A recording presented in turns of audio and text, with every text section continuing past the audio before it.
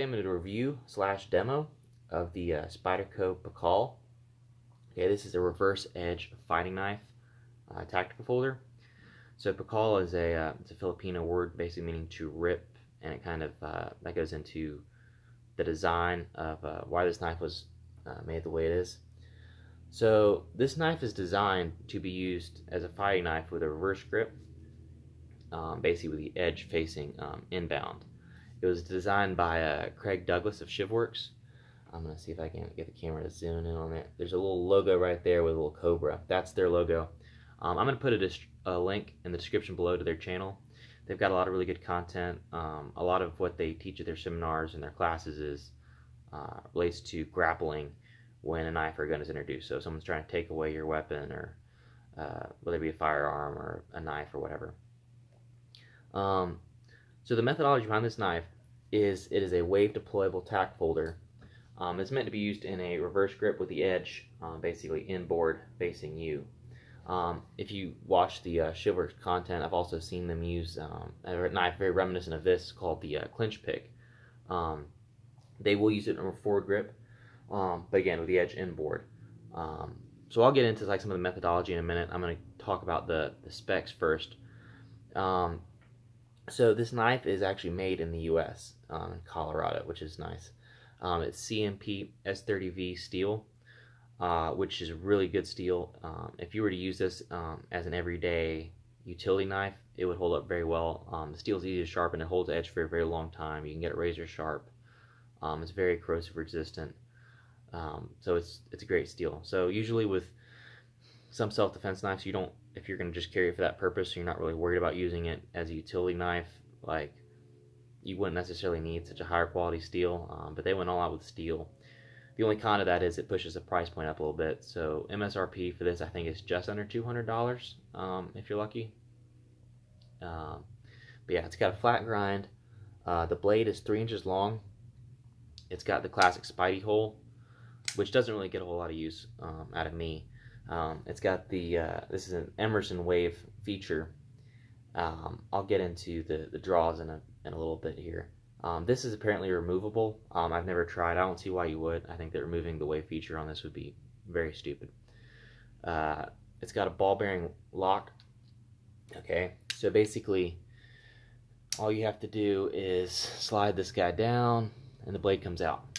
I really like this um, as opposed to I have a Spyderco Endura and it's got a solid backlock on it.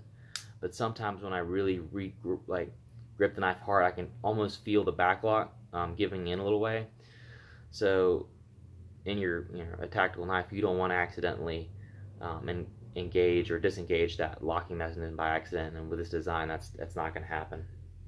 Um, the handle is G10, and it's got a very solid um, pocket clip. It's only held in there by one screw, um, and you could, if you're a lefty, you could reverse it. Um, but it's it's pretty tight. It's a very solid lockup. There's one back spacer um, back toward the end of it, and um, the GT the G10 is slightly checkered, um, and it stays in your pocket uh, very well. So the idea behind this knife is that you put it in your pocket with um, the wave facing um, away from your arm. And so you put it in your pocket and then you push the, grab it underneath it, push the thumb out a little bit. And as you draw, the wave snags on your pocket. And then, so the knife will deploy like this, and then you would roll the knife into your hand like this. Okay?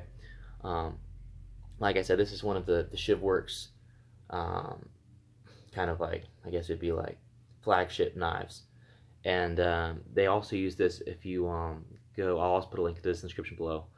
Um, Libre Fighting Systems has a curriculum called uh, Reaper. They've got two of their um, distant learning uh, DVD packages online. You can order the, the, hard copy DVD, but you can also just get it um, online.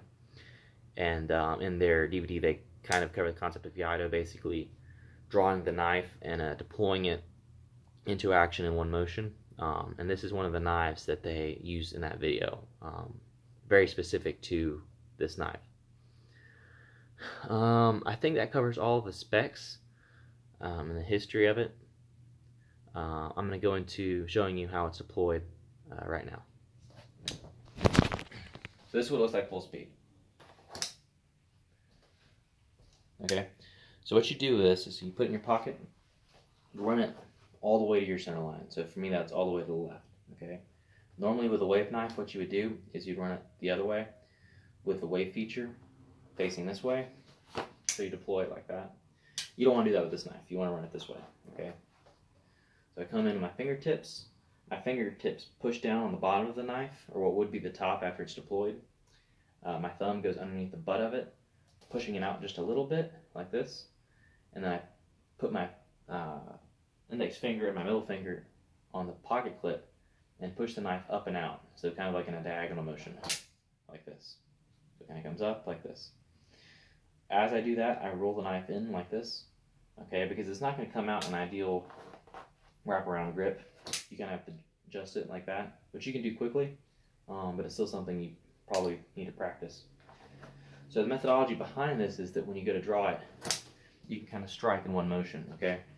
Um, the Japanese concept is Iaido, basically like drawing and striking at the same time. Um, if you go in to the link in the description below, I'm going to put a, a, link there for Libre Fighting Systems. They've got two curriculums um, for a Reaper system, and that's what they use. They use a scythe grip. Um, and actually feature the training version of this knife and how to deploy it um, basically in their system. So it's really good. I'd highly recommend that. Um, another thing you can do with this knife, and I've seen the uh, ShivWorks guys use it with a clinch pick, is you deploy the knife into a forward grip, okay? But with the edge facing upward, like this. So here's what it looks like. So I can come in here, do what, like with the Libre knife system, they call it pendulum motion. So I come in, cut, cut, cut, cut, work through the defense, and then keep keep my attack going. Um, you could also deploy it, again, with a forward grip, and just come up the center line, which is more like an Italian fencing style tactic, um, but actually works pretty well with this Pikal style knife. So again, full speed. All right, so that's pretty much it. I uh, hope you enjoyed this video. Uh, thanks for watching.